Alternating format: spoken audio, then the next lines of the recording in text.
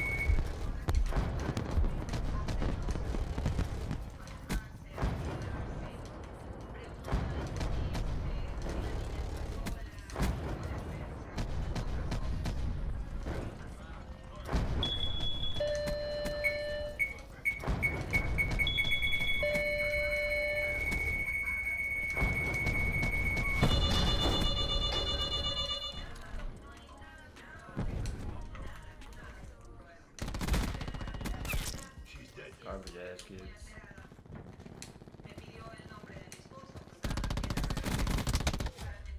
Oh, my gun didn't go to the left of me. I would have won that fucking gunfight.